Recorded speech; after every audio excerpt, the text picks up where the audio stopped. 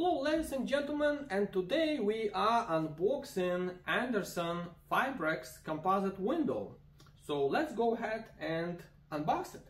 Okay, here we go. We're gonna open the box and um, pull out the window itself. Oops.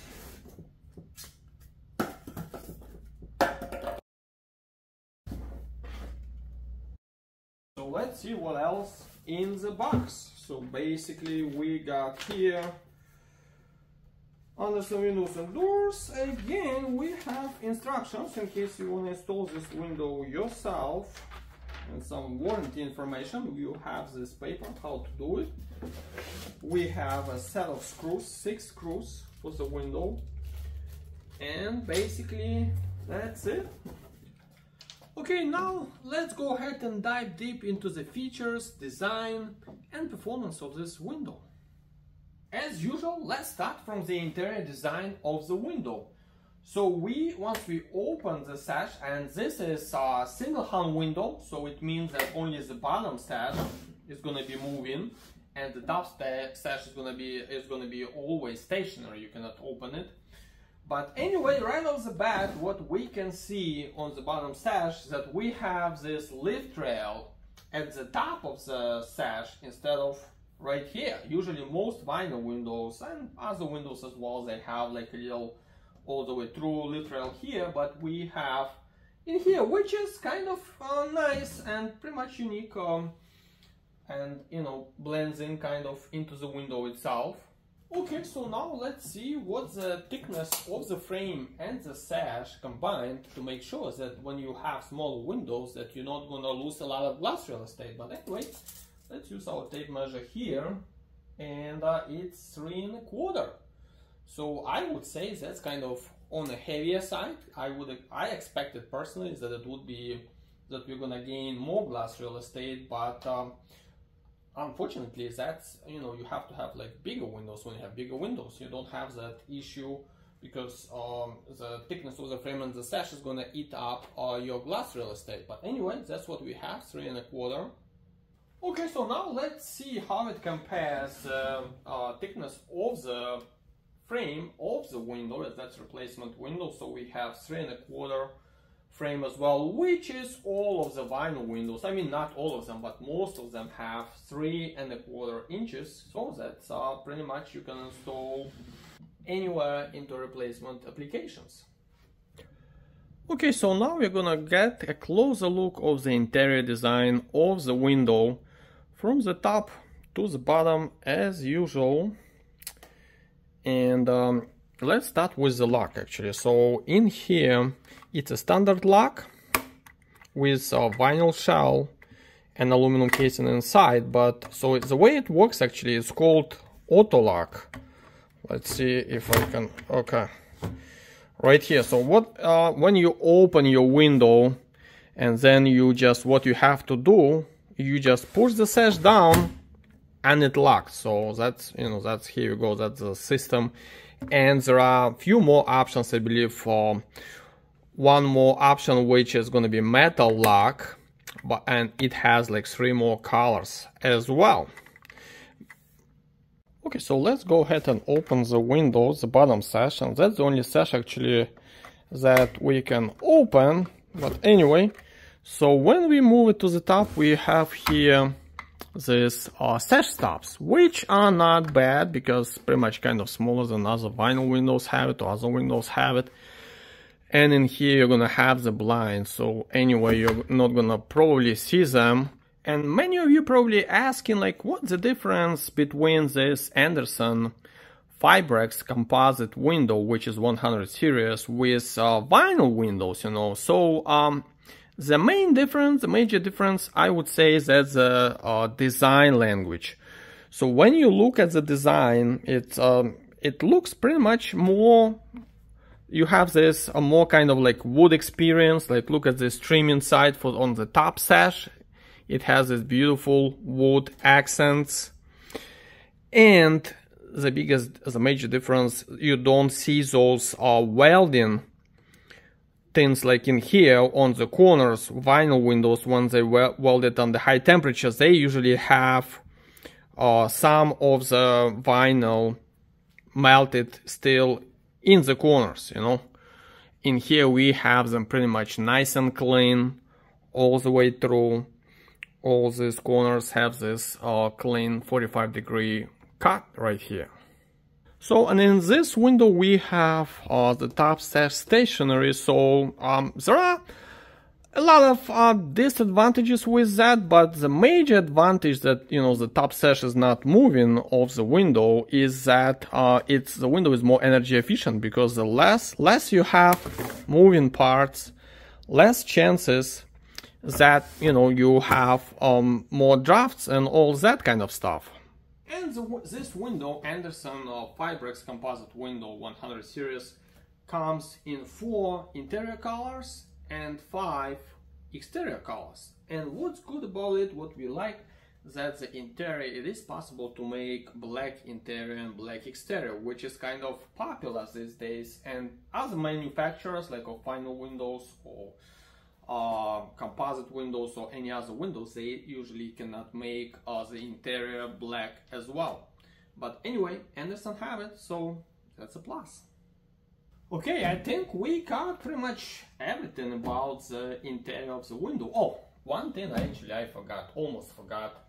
So see, we have this channel here, which is usually, I mean, not usually, but uh, some of the premium manufacturers, window manufacturers, they have like a channel cover. In here, obviously, we cannot have this channel cover because uh, the sash, the bottom sash glides inside the frame. But uh, still, when you know uh, what you can see right here you have this piece aluminum piece sticking out which holds the balance system which is I would say not the best option. And right here that's uh, the uh, holes for the screws which we have screws with a white painted white heads but still I mean um, the only thing is pretty much generous space in here so you can clean easily if uh, any spiderweb or dirt gets inside the, the channel of the window but um, other than that yeah I mean I don't think it's a big issue but it would be nicer if, if you had like this colors here let's say if the channel would be covered like that all the way through you know? But uh, well not not probably not in this life. Maybe in next one. We'll see you know? Okay, now we are all done with the interior of the window, so let's switch to the exterior of the window. And this is how the exterior of the window looks like. So pretty much flat exterior, we don't have any channels sticking out to the outside like uh, many, many vinyl windows have it, sometimes wood windows have it, aluminum windows and all that. So in here, nice and flat. I would say I like that. It's kind of modern design, so as the window looks kind of more modern. But let's see. Right here, I, I would say it, it's a little bit too much going on. Let me move the window so you can see as well. So you have all these joints, glazing beads, the frame of the window, then the frame, um, uh, the frame of the sash. So basically, um, a little bit too much, three and a quarter. So that's another actually nice feature. So the top and the bottom sash, they do align and they have straight line all the way through because some some windows out there they have uh, this uh, line here the bottom sash kind of bigger than the top sash and all that. But I don't know maybe they made so many this of this kind of uh, stuff uh, jammed it together to, to make it the straight line or something like that. But anyway that's how they did it. And same thing pretty much nice corner joints uh, right here. We have 45 degrees. In here 90 degrees and the window comes with a half screen well obviously that's the only way you know to do it because uh, that's a single hung window. You cannot operate the top sash anyway. But the worst i mean the most that i don't like about this window is uh, the weep holes. Weep holes right here at the bottom so these weep holes right here, and they are kind of located too low to, you know, the, you know, I think it's a little, they should be like maybe right here, a little bit higher, because right now, once you put in your capping, aluminum capping right here, that's it. You have a chance to close the weep holes, And what they do, that's, you know, that type of kind of old style water management. So the water gets inside the frame when the, it rains, like on this side, gets inside the frame of the window and it's supposed to come out through these two weep holes right here. And what happens after sometimes they get clogged with spiderweb dirt. So you would you're gonna have to be cleaning them like every five, six years, seven years, depends how many trees you have around, if you have any busy road where a lot of dust hits your windows, so you have to power wash them all clean with a piece of wire, which is kind of annoying. Nobody has the time for that these days.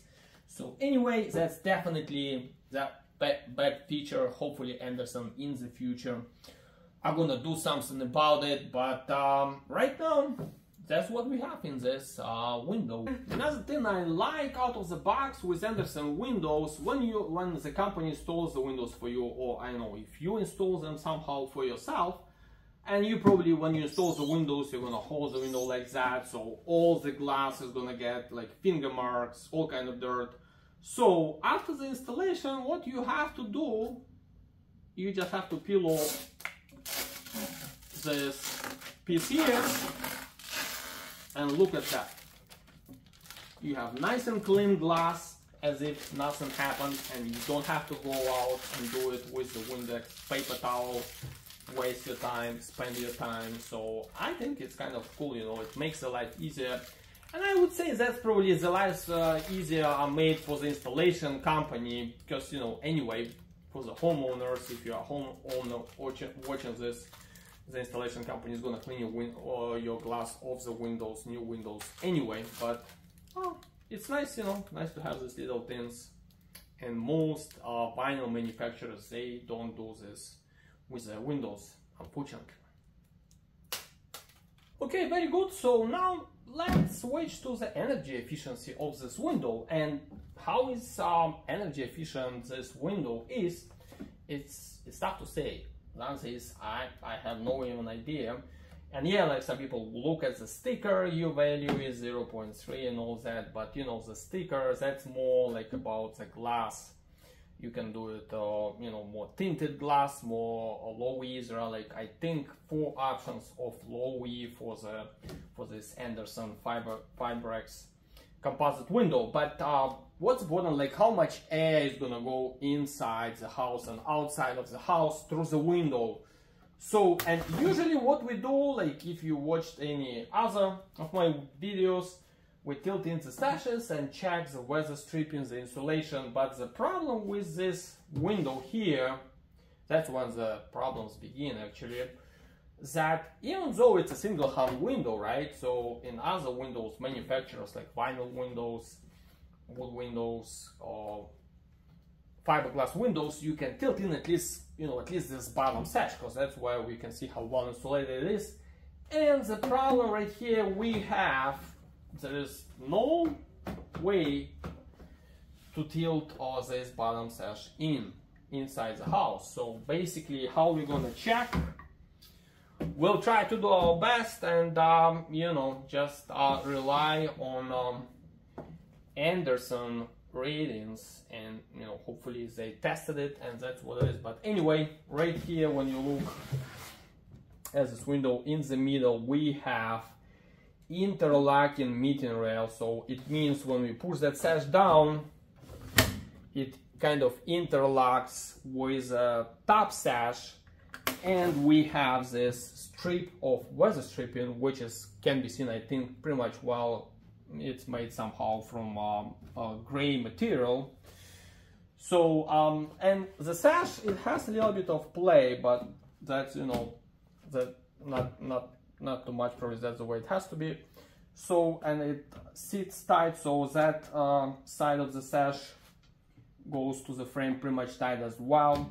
But um, let's see actually can we find out if that well when you look at the well probably uh, let me remove the uh, screen so we can take a better look okay here we go. Once we remove the screen now we have access to the outside of the window and we can see that the window has this weather stripping insulation all the way around uh, the exterior of the bottom sash. So um, when we push it down lock it. So we have that weather stripping here pretty much tight and right there. And it looks like that's the only weather stripping that we have in this window. But um uh, it does look pretty much tight maybe someday we'll test it with uh with uh, air blower and see how um, you know how well it keeps the air seeping inside the house or out of the house. Okay so that much we can talk about the energy efficiency of this window and um, I think probably it would not hurt like put some kind of weather stripping on this side and over there as well you know at least to block most of the airflow but you know you tell me if you have these windows by any chance Andersen, Fibrex 100 series in your house uh, post in the comments and let us know are they energy efficient do you feel any drafts and all, all that kind of good stuff so the other downside, I would say we have this screen, you know, and it's a half screen, but to pull it out, you would have to use these little uh, tabs here with both of your fingers. So, and they are made of um, vinyl.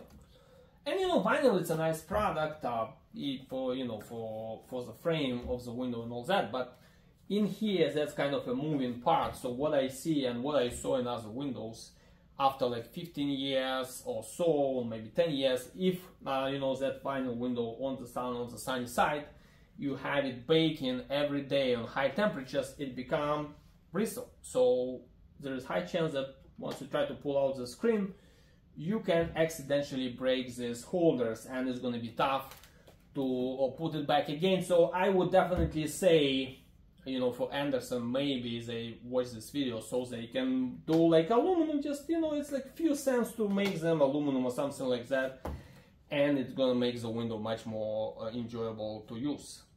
Okay, so now let's talk about performance of this uh, window. So, and again, um, you know, for easy cleaning, there's no such a feature as uh, easy cleaning. The most you can clean, let's say if you want to cleanse the glass of the windows, you can cleanse the bottom sash, the top sash like that, and the exterior glass of your windows. Unfortunately, you have to climb up a ladder if it's a second floor or hire somebody to do it because there is no way, no, no chance to tilt in even the bottom sash.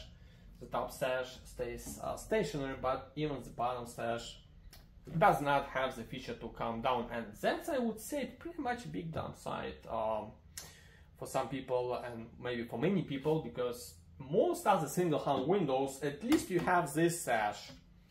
You know you can fold it in and clean it and then you can clean the top sash like this as well with other windows not with that one. So that's i would say the performance wise it's a downside. Uh, it operates pretty much easily no issues with that. Once you push down it does lock nice and tight Okay, ladies and gentlemen, and you know, what is this window made from, which is Fibrex? I mean, what, what is Fibrex? Is it fiberglass? Is this vinyl? Is this composite? So it's actually composite. That's, you know, that's the true answer, but there are like other different composites out there on the market. So this one here is made, I believe, uh, with um, sawdust, some glue and pieces of vinyl mixed together and it, you know, it becomes pretty much durable. So um, Andersen says that um, it withstands temperatures up to 150 degrees, which is good for the um, dark color windows. Let's say you have black or brown outside, so it's not gonna fade so much. The vinyl is not gonna expand and contract. Um, I mean the, the Fibrex, you're not gonna expand and contract so much like the vinyl does. So, um, but inside. Um, there is there are like I believe like about four chambers inside, no foam fill, but still um, according to Andersen, that you know the frame and the sash pretty much he holds the heat inside and cold outside pretty much well. There you go ladies and gentlemen, Andersen. Fibrex composite window 100 series um, so we can draw the line and you know you can ask like for who is this window made for. If you're a price shopper, probably I would say you should skip this window and you know go with some other window manufacturers or window brands and you know. But uh, if you uh, if you like like design of the window especially interior design I would say the interiors that's where all the beauty lies. And most of the time that's what you're gonna see. Like once you install the windows you sit inside the house and you look at the interior of the window. You see this nice beautiful uh, joints corner joints of the frame nice accents that uh, pretty much unique lift, rail in here. But uh, at the same time if you do clean your windows a lot and you love to see that clear glass you know not not dirty or anything like that and you you what's gonna happen? You're gonna have to spend money and hire somebody to clean the glass. Otherwise you have to do it yourself and who wants to do that? Just climb on the ladder nobody has the time or desire to do that so i would not recommend it. If you are pretty much um, love to have that clean glass all the time. So the performance wise it's you know not not the best and but uh, other than that yeah i mean it's it's a good window. All in all if you just if you don't open your windows and, and you don't care about those weep holes and all that you just have them in and you know you all enjoy the, the beauty of the window and look through the glass so no problem. Anyway, appreciate you watching and if you're still watching, I mean at the end of the video, I don't even know how many minutes um, is this video gonna be, but anyway, if you're still here and you live in New Jersey or Eastern PA, guess what, just mention this video once we, or if you call us to add the number below to do estimates, window estimates for you, mention that you watch this video till the end, you lasted till the end, we'll give you a 10% discount. How about that? Don't tell about that to anybody, but uh, keep it to yourself. All right, see you next time.